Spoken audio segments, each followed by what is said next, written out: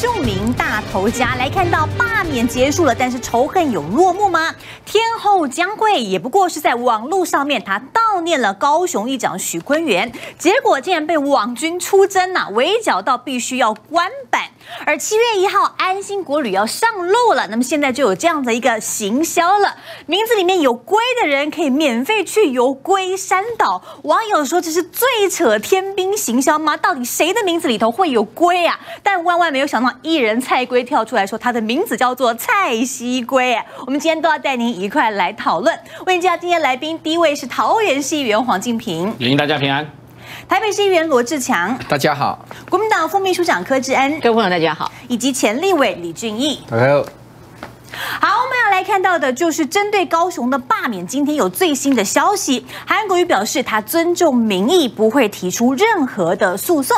只不过，仇恨真的有到此为止吗？当初没有挺罢韩的人，是不是现在就会被算账围剿呢？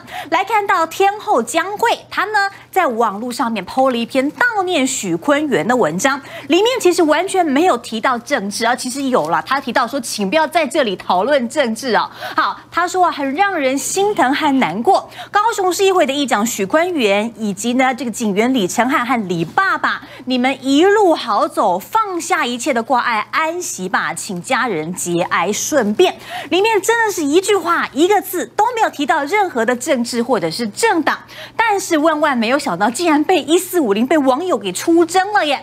好，里面好多人留言说黑道议长值得悼念吗？你是在怀念国民党吗？还有人说是华国艺人不意外，那么也有网友看不下去，就说有必要出征到这样的地步吗？另外一个是艺人李明一，那么他并没有指名道姓，他在这个网络上面抛了一篇文章。就写这么几个字，他说：“一个充满仇恨的城市会进步，会好玩。”好，这篇文章呢，马上也引起了一堆网军来出征了。好，网友说：“高雄人的事关你什么事？高雄人的垃圾自己清。高雄没有韩国瑜会更进步。”好，李明就说：“请问我哪里有写到高雄这两个字呢？你们非要跳进来对号入座，不分青红皂白瞎霸凌？请问你们帮到高雄了吗？”好，有人说：“哇，好。”老派的硬凹啊，怪不得你没有节目，真的太老派了。那么李明说，原来网络霸凌是这样。那么网友说，看你崩溃很爽而已。好，李明一就回答说，了解了，原来台湾只能有一种声音，那我们跟共产党有什么两样？网友也立刻反唇相讥说，那你把这篇文章发在微博试试看啊。好，我们可以看到，现在韩国瑜表态不提诉讼了，但是看起来仇恨好像并没有告一段落啊。智人，你看江惠他完全没有这个提到。任何的政治，连念的权利都没有，还被网军出征到要官板呢。现在是已经是网军治国颜色决定一切吗？不挺绿的人，连悼念别人都是罪该万死，连话都不能说吗？的确哦，真的是让人家觉得非常的唏嘘哦。但真的，你看我们过去常说台湾最美的风景就是人，那目前为止还是如此吗？特别是这么一连串的选举下来，你看看，只要任何人将会。他过去唱的台语歌曲是感动多少的人心，而且你看看他脸书上的留言，还包括李承翰的父亲，他是放在一起，他不过是对于逝长者的逝去，他感念，然后写个这个非常非常中性到完全没有任何政治色彩的，只是只要提到许坤元，就把他想到跟他韩国瑜，你悼念许许坤元的意思就是等同你支持韩国瑜，就是这样的一个逻辑延伸下来，以至于将会这个台语的天后，他。被迫要关闭脸书，他关闭脸书是五年之前的事情，所以大家就开始很担心。那我们这个二姐到底会不会发生什么事情？她会不会被这些网友的霸凌，心理产生什么样的影响？那这个东西还叫做说最美的风景是人吗？那李明一他过去在那个年代里面就最有名，就是只要我喜欢，有什么不可以？那引起引发非常多世代的一个差距。这个只要自己喜欢，从头到尾展现自己风格的人，请问他写一个没有指名道姓是高雄的，请问写这样的部分来发表他的言论？就是他喜欢，为什么不可以？现在年轻世代不是就是你喜欢，你做什么都可以吗？难道你只有你说的算，别人都不可以吗？所以这两位不要提到这两位，还有另外一个九一一里面的春风。九一一是本土的这个所谓的地下乐团，是受到多少年轻人喜欢？大家把他吹捧成如何如何，也不过是春风他感念许坤元过去曾经买票买了很多的票来支持他们的乐团，以他的这样角色，以他们的关系，他上去做的这样到许坤元的这个灵堂。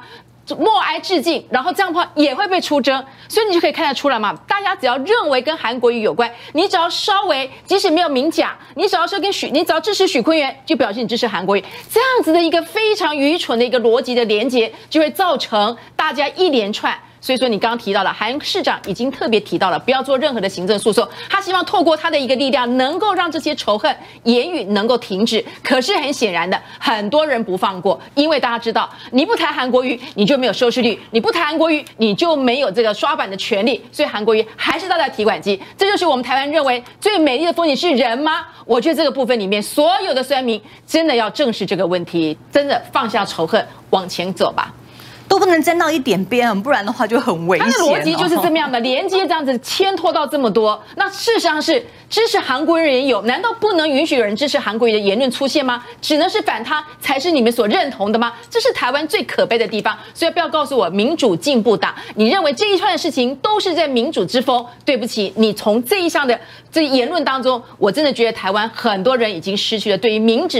价值上的一个判断了。嗯哼，许冠英议长坠楼身亡之后呢，其实包括了梁文杰、王浩宇有几位议员在脸书剖文嘲讽，立刻引发了众怒，之后还道歉删文。王浩宇的服务处在昨天下午有大批的民众前往砸弹抗议，八名员警强力镇压，把三名抗议者给硬推上车。现场的民众一直高喊痛批，认为员警其实根本就已经是执法过当了。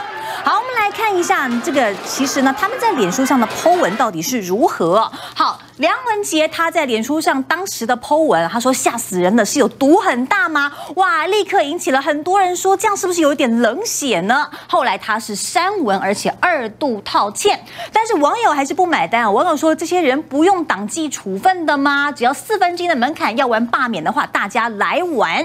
也有网友说内心没有一丝的人性，浩劫会随后到来。那么有网友说呢，有嘴污蔑别人的话要罢免他，甚至是还要说要罢免他的。立委太太，而另外一位是王浩宇。王浩宇呢，当时也在脸书上马上就来剖文了，但是之后呢，他也是删文道歉。只不过他删文道歉之后，后来他又剖文了，他就直直说啊，你看呢，其实啊，来我的脸书出征的这些人，百分之五十七没有大头照，百分之二十一创立不满三个月，百分之三十三朋友低于五个人，所以呢，确实是有一股外部的力量正在试图要造成台湾更大的对立呀。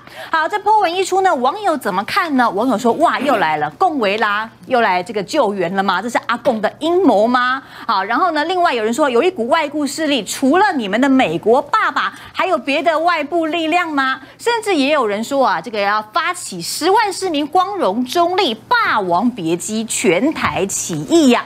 好，我们看到有明代拿别人的死亡悲剧来嘲讽，才刚刚道完歉，但是竟然又牵拖说是有外部的力量试图造成台湾更大的对立吗？那么其实。昨天到场抗议的人蛮多的，是不是都是外部力量动员的呢？我们要请教一下静平哥，你昨天也去抗议了，你老实招来，你到底代表哪一个外部势力？所以我也在想，我是哪一个星球的？我是对于地球而言，我是外部力量还是外星球的人呢？所以昨天到场，王浩宇可能要感谢我一下，因为王浩宇这个昨天的服务处啊。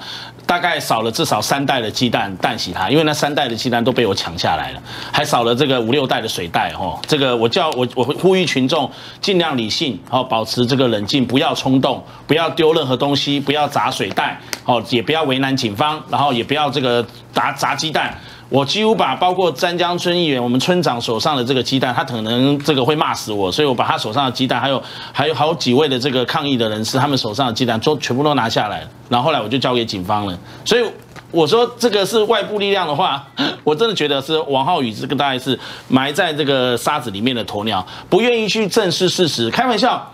所谓百分之五没有，呃，朋友没有超过百分之五，然后或者是这个设立脸书大概不超过这个三个月，这些人难道就不能骂他吗？他之前第一时间啊，这个其实就是带风向。刚刚这个原因，你跟大家讲说，梁文杰也好，还有王浩宇这些民进党的这个议员，他们第一时间在网络上企图带风向，然后放任这个他们的支持者跟这个网络的一些酸民在底下留言，然后乱七八糟去讲，以至于刚刚这个智恩委员在讲那个江惠事件被洗版的，还有李明义被洗版，就是因为带风向造。造成了吗？你你你不你们不记得第一次那个过去曾经发生大阪驻大阪的这个办事处处长，当时也是这样子，然后被风向被被带风向之后，网军就不断的出征，就不断的怎么样？我觉得是在逼死谁啊？所以当下王浩宇跟这个梁文杰虽然他们说三文的道歉，但是因为什么？因为舆论的压力，因为网络的压力，已经那个他们自己的脸书被灌爆了，被洗版了，被骂翻了。再不道歉的话，那他们枉为民意代表，就不是一个这个不适合的民意代表，就不配做人民的代议士。所以算他们聪明，但是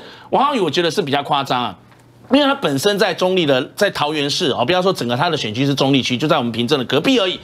啊，昨天我到了现场，他说百分之九十来抗议说要罢免他的人都不是这个驻中立的。我昨天到现场，就算扣掉警方的人哦，除了这个呃这个媒体记者跟警方之外，大概我不敢说有八九成，但是起码中立人。中立的这个虚名，他每个都拿身份证给我看，至少超过五五成，百分之五十以上。然后我我就是现场，我说你们有没有是这个注中立的？全部举手，都注中立人。所以你从这个现象就看到，王浩宇非常不聪明的，就在于说他站在人民的对立面。没错，他看准了一点，哪一点呢？这两天我们其实都在讨论。当然啦。很多人说，哎，报报复性罢免的，其中就点名梁文杰跟这个王浩宇。王浩宇呢，你现在如果要罢免他的话，大概要这个八万票左右，因为要整个中立选区的百分之二十五的这个投票人的这个门槛。那跟他选议员的时候，只要一万六千票当选，是完完不一，完全不一样的。所以这个是凸显出单一选区制跟这个复数多席制，我们是议员是复数多席制的选举的同这个选举罢免法同一个门槛是非常荒谬不公平。但是王浩宇用这种没有人性的做法，又用这种发言，然后又不。不断的去挑衅刺激，我看不出来他想要合理的这个这个和平落幕解决这件事情。我只用一句话总结啦，在昨天这件事情之后民进党的议员私底下打电话给我说：“金明哥啊，谢谢你们帮我们出一口气啊，赶快把他罢掉吧。”这就是民进党议员跟我讲的话。你看，你民进党的同僚都看他看不下去，王浩宇人和有多糟糕。哇，没有想到有这样的内幕啊！不过事实上，我们可以看到，刚刚你也提到了，现在有所谓的烽火式的罢免，当中被点点名的也包括了高雄市议员黄杰。好，黄杰昨天前往许坤元议长的公祭现场来悼念，但是走出来的时候，他显然明显情绪显得比较的激动哦。好，事实上呢，后来就还原到底在里面发生了什么样的事情呢？原来呀，高雄市法制局长吴秋丽看到了黄杰来到现场的时候，质疑他说：“你。”是为什么要来呢？而且呢，还擦大红的口红，又不戴口罩。好，那么黄杰就回应他说：“我可以不来吗？”结果吴秋丽就说：“你可以不用来。”好，那么接下来呢，这其实呢，这个黄杰在这个后来他出来的时候，就看起来很委屈，因此而爆哭哦。好，为什么会发生这样一个插曲哦？吴秋丽后来事后表示，他说呢，他看到黄杰进来是一副胜利者的姿态，行为大辣辣的，他当下悲从中来，因此呢，讲话讲的比较直接一点了，点出了黄杰。为什么擦大红口红又不戴口罩？好，那黄杰也说谢谢大家昨天温暖的关心，他没事，会尽快打起精神来，继续让城市回归正常哦。好，这个是黄杰的说法。只不过呢，面对现在有人说要罢免黄杰，黄杰的回应表示说，如果有特定的政党操作像这样的煽动仇恨，会让人觉得很可恶，因为这绝对不是高雄市民所期望的。高雄市民希望的是回归正常平静的生活，不要。这样一番说法呢，这个资深媒体人谢寒冰觉得看不下去，也发文了。他说：“黄杰，你知不知道你的每一句话都在打自己的耳光啊？只有韩国瑜是乱源吗？为什么你不是？这些罢韩的不要这么恶心。从他第一天当的时候就开始发动罢免，那么这是谢寒冰的这个 po 文了。好，我们可以看到，其实昨天确实黄杰走出这个攻击现场的时候，表情看起来明显是非常的激动。但是基层的民众已经开始连署罢免黄杰，到底为什么？我们。带你一块来看，是为了一掌哭吗？是为了一掌哭吗？那个大红的口红大辣辣的走进来，他是想用个口口罩遮起来，他没有，他刚刚当下我就跟他说，一个很假的人，那你去那边哭，对我而言是在作秀啊！不要再作秀了。当你在霸凌别人的时候，你有没有慈悲心？你有没有将心比心？好，事实上啊，凤山呢这个罢免市议员的门槛，第一阶段大约是两千九百份，第二阶段需要两万九千多份啊。据说第一阶段是已经达标了。这烽火式的罢免真的会成真吗？我们要请教一下俊义委员谢寒冰说，他认为黄杰说这些煽动仇恨的这些话，每一句话都是在打自己的耳光，是这样吗？呃，当然每一个人在这个情绪上哦，大家都很难说理的啊，这个。支持韩国语的人看到这个结果啊，当当然心里面是绝对很大的一个冲击哈。你说啊，早就预预预见到这个结果嘛？我看好像不是这个样子啊。啊，如果说早就预见到这个结果，那可能在之前选择的方式就不一样嘛。啊，可能就会在投票前就可能选择一个比较呃直接哦这个对立的方式，所以大家都非常意外这个事情啊。呃，高雄是做出决定的啊，那这个决定之后造成这么多的情绪反应，有人就趁着这个罢免成功哦，想要再赚取一些政治利益，这个很清楚嘛哦。刚刚在讨论的说，哎，有一些呃民进党的民意代表哈，呃，在网络上可能呃更加的哈，更进一步的哈去讽刺啊，或者说去呃挑衅啊这些事情，那我我的看法是，这个都是在。在蹭罢免成功之事啦，哦，都是在获取自己的政治利益嘛，这个没有道理嘛，这个造成好像是所有的账都要算在民进党的身上啊。网络上也有很多这种呃朋友，他或许是支持罢韩的，但是他的那个言论后来也是算在民进党身上哦，所以民进党这个时候应该要去呃做一定的这个澄清了哦，到底这些人啊，到底跟民进党的关系怎么样？网络我我认为跟民进党关系应该是。呃，很微弱的了哈。那民意代表你就很难啊去说得清楚这个事哈。所以，我呃，黄姐会不会被罢掉？可能性是很高的啊，可能性是很高。不要说他了哈，王浩宇，包括梁文杰都有可能啊。啊，你你说啊，这个我们多席次的啊不公平，我们一万多票就当选，那呃七万多票才可以罢掉。我跟你讲哦，这次罢免是每一个人都可以投票的，所以。这个 可能性是很高的哈，那问题是谁被罢掉啊？呃，所带出来的连环的哈这种连锁的一个反应啊，这种仇视对立就是越来越激化，越来越激化，不会越来越平静啦。我要这样讲啦啊，当事人啊也是被逼要道歉的啦啊，对不对？呃，民进党的高层可能认为啊，你哎。这个议员们，你们你们这个讲话可能呃不太恰当，你要赶快处理哈。这个都都要被压着道歉的，被道歉的哦，被道歉。对这个，这大家心里面哦，像王浩宇他也不认为说，你看嘛，我我被出征啊，这些人啊，就是有什么样的地方，他也是在合理化自己嘛啊，所以都是这种考虑哈啊自己的这个什么政治的这个利益了哈。那一旦是这个样子下去的话，整个这个对立就就没完没了嘛。哦，我呃第一时间哈许议长呃这个过世，第一时间我就在网络上啊表达我对他的尊敬了。那那你说我我我我我又是什么？对不对？因为这个是每一个人的判断问题嘛。啊，发生这个事，那或许你不可以，你不会去同意他的所谓政治力量，但他的行为值得尊敬，我们就就就要尊敬啊，值得惋惜就要去惋惜嘛。所以这个社会如果连这一点点基本的哈。呃，所谓的理性哈都没有的话，那台湾，那么大家就用用用拳头来决定吧，啊，你说大家要平静平如何平静呢？嗯哼，不过现在看起来，其实不只是像是黄杰这些议员可能有点担心哦，其实有不少的首都市长是不是都错雷蛋呢？好，先前呢柯文哲被问到的时候，他先把侯友谊推出来当挡箭牌，昨天啊，他看起来似乎变得更害怕，我们来听他怎么说。你觉得民党非常过你吗？当然不会，一定要找一个党代表承认啊！哇，这个这个大家共同的存在，对不对？我觉得这到这里应该是先暂停一下。比如说对民进党来讲，人家都穷默默所以才好。他是个外面的政治上的纷纷扰扰，其实我不在意，我有也不是我市长能够关心的。我们堂首都市长的态度，你刚刚听到柯文哲他说啊，希望大家忘了我的存在。我们想请教一下志强议员啊，现在首都市长是正在错雷弹吗？在罢韩过后，是不是整个政政治啦、社会的氛围就变成好像非我族类，通通都要闭嘴吗？其实现在台湾的上空的氛围是非常肃杀的哈。那我很不客气的讲，其实一党独大时代已经来了。这一党独大的时代，实际上你会发现。所有的只要是站在执政者的所谓监督面的力量，其实都会遭到无限的霸凌哈。那中间充斥了各种的双重标准哈。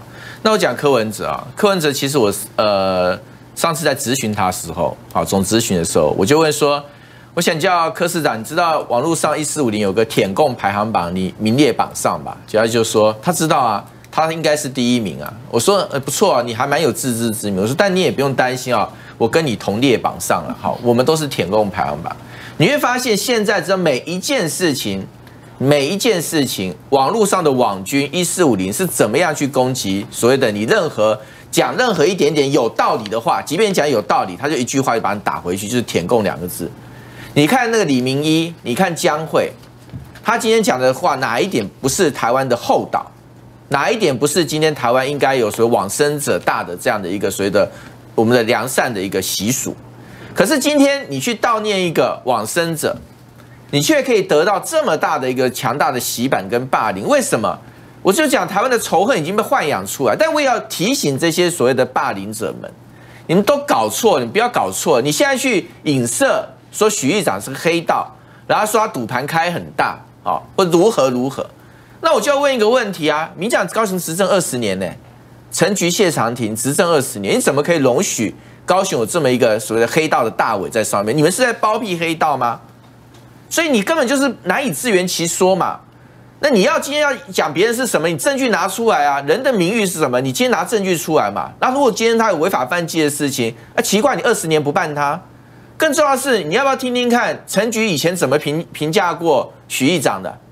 他说什么？他说啊，徐议长这个人有情有义，服务民众不分党派。可是现在呢？现徐议长过世了，你会发现另外一个标准出来，包括王浩宇，包括梁文杰，我他们说完话道歉完，我只是问下一个问题：以前哈不用讲别的，以前李来熙讲的那个话，对不对？讲小灯套的话，国民党中央是怎么被救责？请问大家都忘了吗？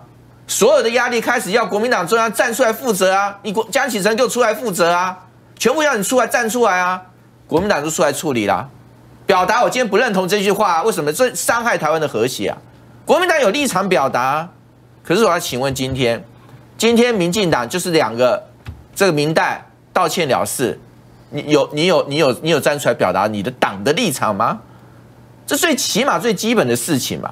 所以你可以看到说，像柯文哲，不要讲柯文哲担心啦，我这样就讲一个现实的例子嘛。你现在霸韩倒了之后，大魔王除掉，对不对？大魔王除掉，就有新的大魔王出来啊！下一个是谁？三个人啦，反正六都全部扫光光啦。一个就卢秀燕啦，一个就是柯文哲啊，一个就是侯友谊啊。哎，这不是预言哎，是进行式，好不好？卢秀燕已经有人在做民调，怎么样罢免他的民调如何？然后还讲说要去测下一个接任他的市长谁是呼声最高，早就在布局了啦。除秀之完。在什么沙科啊？柯文哲有警觉心啊，所以柯文哲也聪明啊。你要忘了我，好，通通忘了我，好，当做没有我。还有一个侯友谊，我郑重推荐侯友谊。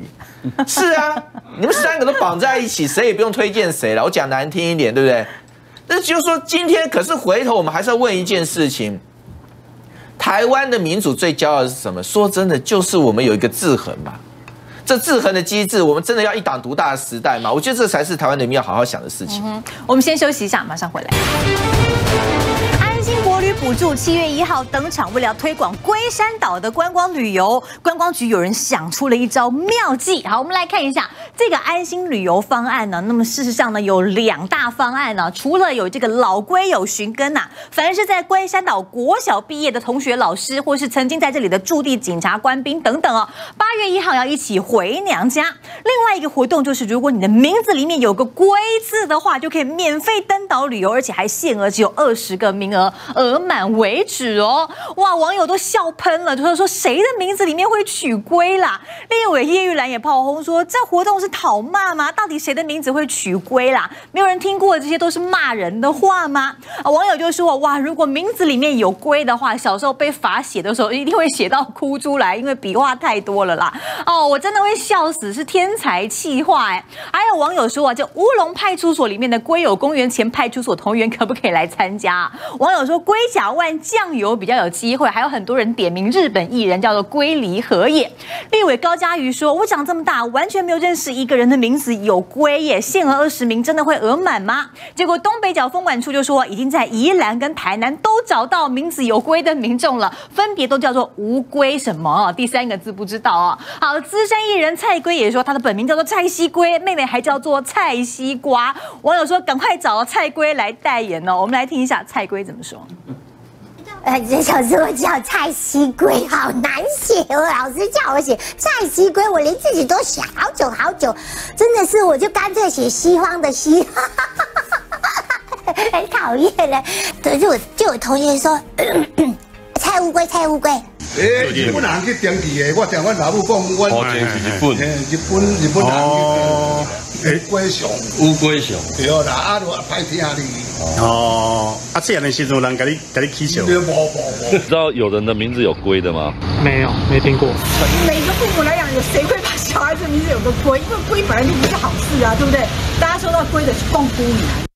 三十九亿的交通部安心国旅要启动了，好，这个计划要宣传观光啊，所以呢，这个名字里面有龟的人可以免费去游龟山岛。我们要请教一下静平哥，如果要多一点人去旅游，为什么不找名字里面有山的人呢？找名字里面有龟，这到底是天兵行销还是天才行销呢？呃，这个新闻其实让大家看了会觉得蛮有趣，也蛮好笑的，然后甚至有点哭笑不得哈。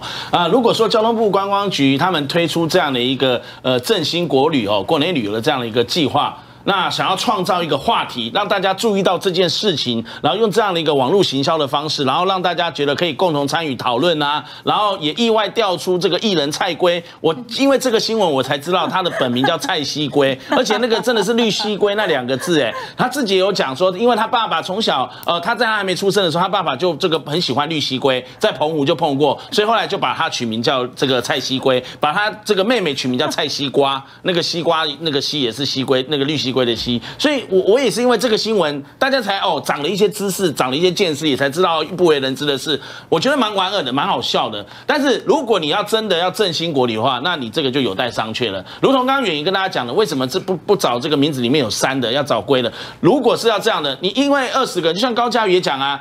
全台湾要找到名字里面有龟的，大概名额不会到二十个。没错，其实观光局他们也讲说，他们自己也承认，他们没有去透过户政系统去找全中华民国到底有多少的名字里面有龟这个字。但是当然很多网友很创意啊，什么杰尼龟啊、龟仙人啊、这个忍者龟都可以。当然这是开玩笑、哭手的。但是我后来发现这个新闻出来之后，一直到目前为止听到了观光局也说有四个人符合这个资格，就是刚刚讲的名字，刚刚那个受访的其中一个就是吴龟雄老先生。后来他妈妈帮他取名叫吴奇信。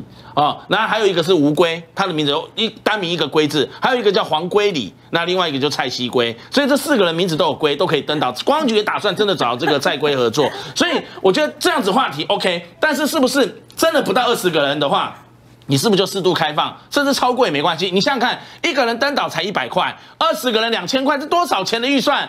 那公安局会出不起，会出不起，出不起这笔钱吗？所以你不如多找一点，比如说名字里面有龟，名字里面有山，名字里面有岛。好，龟山岛三个都有。那他现在说寻找老更有活动，他既然都已经放宽到希望能够在龟山岛国小毕业的人，或是曾经在龟山岛国那个驻军的、驻扎的、派出所服务的这些人都希望能够找回来寻根活动，然后登上龟山岛。那不妨开放全台湾、全中华民国，甚至名字有这龟山岛三个字的，让大家能够多多参与，多多益善。你真的才是行销。我觉得前面是创造话题，让大家笑一笑。像今天的这个这两天的新闻，有时候听了会让他这个觉得没有人性，很生气，那就算了。后面开始，你创造这个话题之后呢，是不是开始把它导入正轨，然后开放一些额度，然后真的振兴国旅，你要用什么方式，然后来吸引大家来报名？不要弄了一个这个笑话之后呢，后面虎头蛇尾，会让大家觉得说，难怪网友觉得观光局你是在没有诚意吧？然后用这种史上最扯的优惠啊！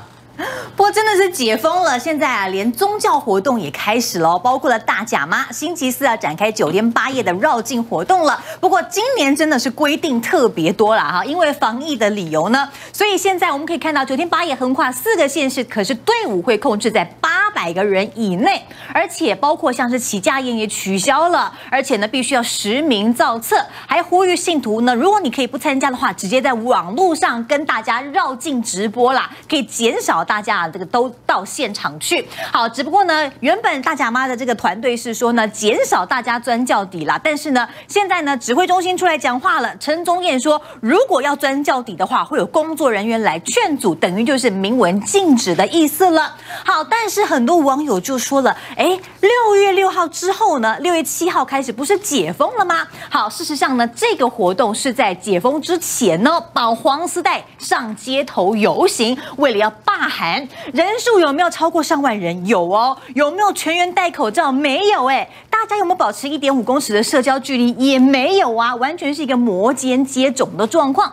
网友就说了，万人霸韩爬爬照可以，可是万人抱着妈祖爬爬照就不可以吗？绕境只能够八百个人吗？为什么解封之前可以有上万人的活动呢？那么还有人说，只准霸韩游行群聚，不准民众钻教底，到底是什么样的逻辑？难道你的政治操作比我的信仰还要更重要吗？好，我们就一起来看看当时这个黄丝带的游行是什么样的一个场面啊！好，你看到这群人浩浩荡荡，人山人海，大家有戴口罩吗？哎，这样看过去好像没有什么人戴口罩呢。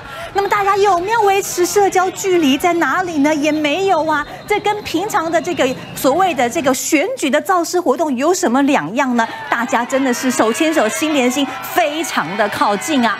好，所以是不是有双重标准？为什么双重标准呢？高雄游行的时候还在防疫的阶段，可以万人上街绑黄丝带，现在已经解封了，可是妈祖绕境要求必须要在一千个人以下，只准罢韩游行群聚，这是什么样的逻辑？我们要请教一下志强议员。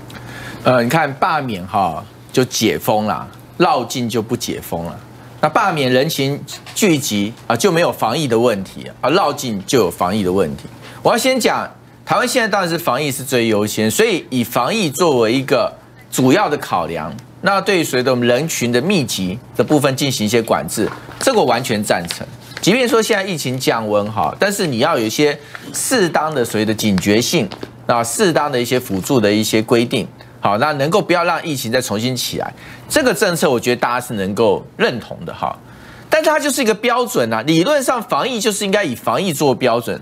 但我请问大家是吗？确实是吗？你同样的状况，今天在罢韩的时候，人群聚集，万人聚集，然后也没有所谓的那个距离的间隔。那你今天开始罢韩的部分，包括他说今天整个整个政府其实动员起来，也是热见今天那么多的人。上街头啊，要鼓动整个罢韩的风潮啊，连高铁都还可以出个五百元的那个优惠票啊，让大家下去助长罢韩的声势。可是今天绕境却采取不同的标准，为什么？因为讲白了，双重标准现在已经是台湾唯一的标准了，不是吗？今天所有事情就是看颜色啊，分立场啊，然后看今天是不是合所谓的现在执政者的意嘛。就像说今天黄杰讲的名言啊，我最佩服黄杰啦。他说：“不要再煽动仇恨了。”是啊，你罢免韩国瑜不叫煽动仇恨，别人罢免韩国瑜就是有特定政党想要来煽动仇恨。你这是什么标准？你告诉我，当初罢免韩国瑜，你你你找个理由罢免韩国瑜，你做的就非常的高尚，你做的就不叫煽动仇恨，你做的就不叫激化社会对立，你做的就不是特定政党在背后 去煽动的所谓的特定的仇恨。别人开始要讨论罢免你，罢免得了你，罢免不了你是另外一回事。但是你的双重标准也太赤裸裸了。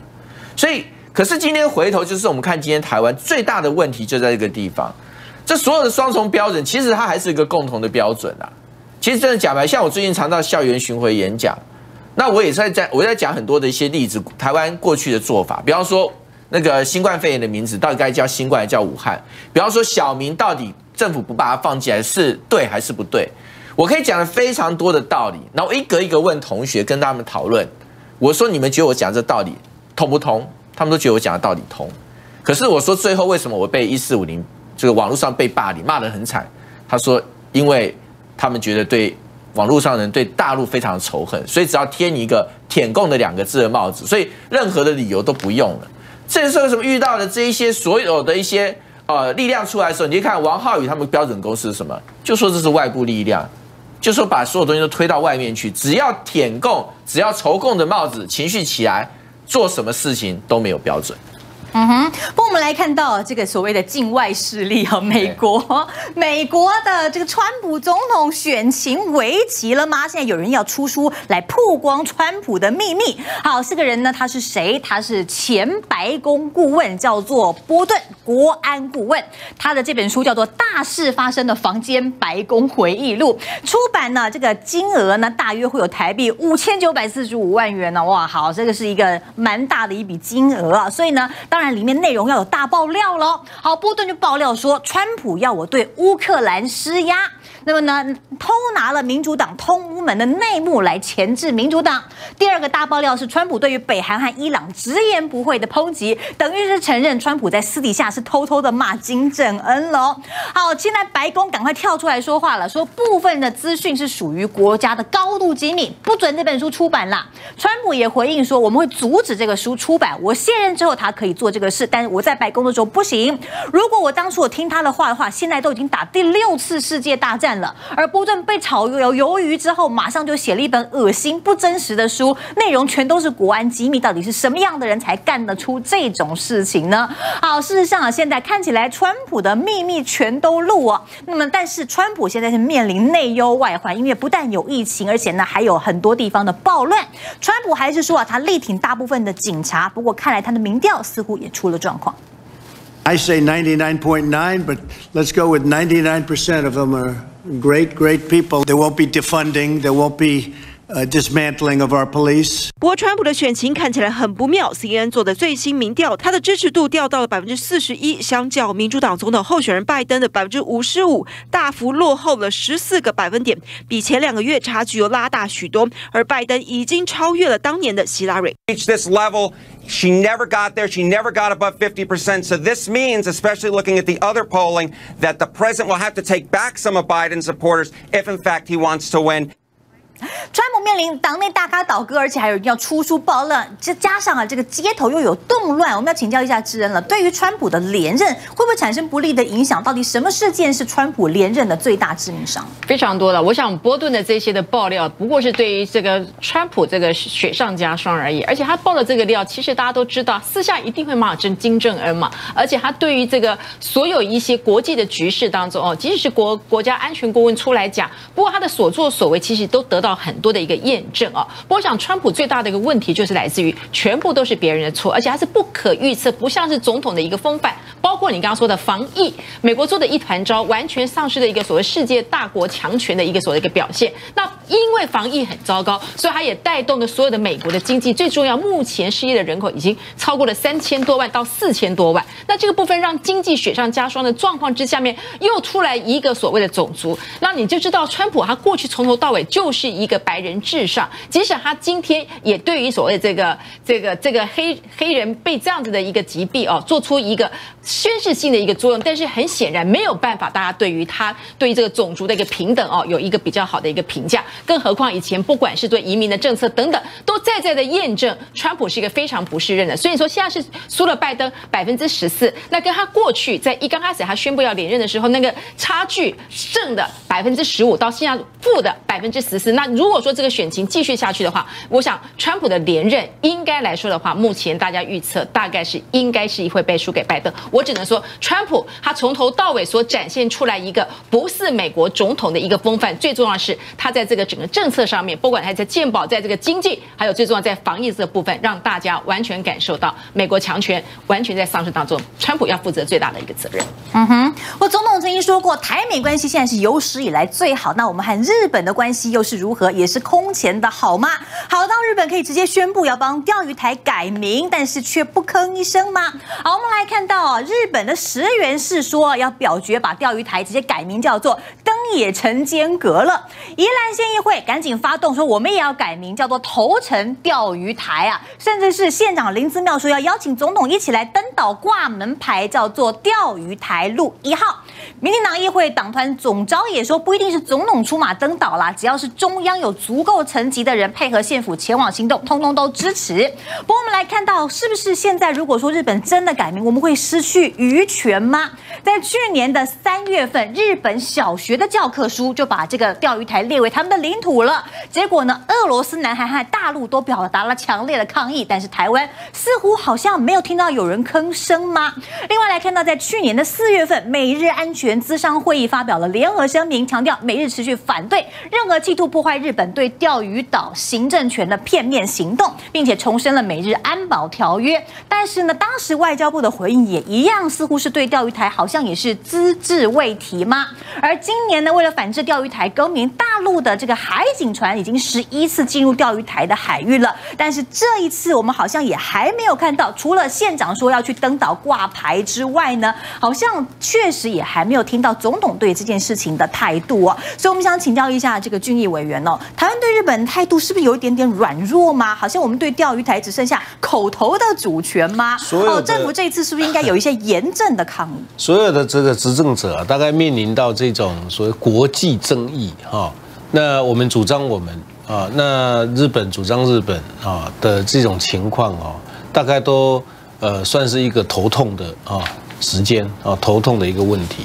那日本可以不做这个事的哈、那他为什么一定要呃去做这个事，然后又掀起哈啊这么样的一个问题？你看嘛，他当当初还没有改名的时候，那台湾的民意大概已经慢慢可以接受，就是说把这个所谓的渔权啊、渔业权啊确保。那这个问题就等待双方慢慢在国际上去做协商啊，这个底线是至少还可以接受，但是你该免料哈啊，这个问题就变成被逼哦要去做哦回应。呃，我认为啦哈，我们总统府、外交部啊负责这个所谓的国家安全的相关的呃阁员啊、行政的部门啊啊，势必是要站出来反对的啊。我想我们的民意大概也很难去啊说对日本的这个行为，那么不去做比较激烈的一个啊反应啊，所以基本上啊。是被逼一定要去做呃处理的，那这个处理就是反对他去做单方面的，没有经过协商去做这个事情嘛，哈、那台湾碰到这种问题的地方，不是只有钓鱼台哈、那我们在啊、东沙南沙那边也是碰到碰到呃类似很多的同样的问题啊、所以国际的问题啊。啊，在以国内现在的这个气氛下哈，就变成啊，又是斗争的很重要的一个素材啊。那对呃国内要想要在罢韩之后能够平稳的哈度过这个情绪啊，恐怕是越来越难。嗯哼，我们先休息一下，马上回来。解封，酒店舞厅终于也解封啦！哇，酒客是蜂拥而至，据说啊是大爆满呐、有酒客抱怨说，他到了酒店根本等不到房间，等到了房间之后，等了一个小时，等不到小姐来坐台耶。酒客自嘲说，好像在自助 KTV 唱歌吗？因为找不到小姐啊，因为小姐转台来不及啦。哇，台湾是不是真的已经出现了所谓的报复性消费嘛？我们要请教一下静平哥。可是很多人也很担心说，哇，现大他解封的这么愉快，可是到了秋冬，下一波疫情来袭该怎么办啊？这很正常，你知道吗？因为酒店这个，不管是我们桃园，还有台北，还有台中，很多的算是酒店业比较多的这个地方，几乎因为停业一个半月后，这个酒店小姐很多都到处四处去打零工，然后有的打工他们有签短这个短暂的短期合约，然后有的是跑去比如说做这个传播妹等等诸如此类的，所以一下子。你看这些酒店开始复业之后，他们透过旗下的这些经纪人干部，这些就是大班，他们要抠回来大概。据估计啦，我也去问过我们桃园市的这个警方，还有澳市政府联合稽查小组，在我们桃园复业的这个酒店去了之后，他们我我是问他们看到的这个情况，他说大概酒店也听业者在那边大吐苦水，客人回温不到三成。好、跟以前的以前业绩以以前业绩的一半五成都不到，客人回温不到三成，然后小姐呢回来不到两成。所以形成客人比小姐多的情况，也难怪他说他们几次去联合稽查，就看到偌大的这个包厢，几个大男生就在那边喝酒聊天，然后都没有这个女生在那边，然后就没有这个小姐，然后他们说小姐呢，他们说哎奇怪，我们也是等了一个半小时，等来的不是小姐，等了一个半小时，等来的是这个这个政府稽查官员和警察，然后叫他们拿身份证出来，然后有没有戴口罩，然后什么什么，酒店都会准备，如果客人没有带的话，所以他们也很无奈，所以有些客人就不爽，然后去了就买单两个小时进来等到警察跟等到官员。不是等到小姐，以前是想说想着小姐可以进来两排站拜拜站，然后开始挑小姐，不是这样，所以变成酒店业的业者也在大吐苦水。但是因为现在是防疫的这个这个状况，才刚刚大解封，所以我觉得要真的回到这个过去的所谓的那种龙井九国大家酒池肉林的这种龙井，我觉得可能要到年底了，甚至更晚了，因为这个时候大家可能其实都会怕。俊宇委员，台南的情况怎么样？您清楚呃，我已经很久没有上酒家了啦 哈。那这个酒店是现在你们年轻人讲的话了哈。那我们以前叫酒哦，叫酒家啊，酒家。那这个样子了哈，我们是欢迎报复性消费啊，但是我们不欢迎报复性消费啊。啊 你不要把那个地方当成一个性服务的地方啊。这个酒店啊，在过去哈，酒家哈是在公代级的所在啊，是谈生意啦，或者说呃疏解心情也有啦，招待。朋友哈，那你像阮志强拿来台南，我带来酒家行一抓，哇，那表示我对伊啊足重视啦哈。那不管怎么样讲，就是说台湾现在需要消费啦，不管你是什么消费，但是违法的消费就不行啊。那这种特特种营业的场所啊，我们希望啊它是可以回归正常，在日本也一样哦，日本这种行业也不比台湾少哦。那呃日本这个。情况跟台湾的情况解封之后也是一样哈，那这个美国也差不多，英国啊那更扯了哈，英国这关酒店的时候还被那个酒店是 pub 哦，但它不是小姐陪酒，所以基本上是全世界大家都闷，快要闷疯了哈。那再加上台湾现在哇情绪大家在压力锅里面哦，所以这个特种营业开放，我觉得也算是呃一种小确幸了哈。那欢迎消费啊，不欢迎。这种报复性消费，我们先休息一下。他们和党中央讨论，国民党怎么看待他的决定？我想他其实最主要的部分啊，他今天脸书已经发布，那最主要是回应最近从六月六号开始这两天当中呢媒体不断的就是放话，又是主席御驾亲征，又是朱立伦等等。那事实上这些都不是韩正营所放发出来的，而且事实上他在六月六号的时候呢，就已经在这个场合当中就说他不提起这个所谓的法律的诉讼，那他必须要对。他他当初所讲的，然后也希望能够因此而停止一些纷纷扰扰，然后还给市民一个比较干净的一个空间，让高雄可以往前走。所以他今天呢是他自己就是权衡不久之后呢，他会在他脸书发放之前，其实有稍微告知党中央，但并没有作为所谓的一个讨论。我想这个部分党中央也充分的一个所谓来做一个尊重。那也希望韩市长利用这段时间可以好好做一些的澄清，然后再看看下一步往哪里去走。那针对法律诉讼这件案件里面，就是尊重韩正营，那国民党。就必须要在最快的时间之内找到高雄籍可以出战的一个。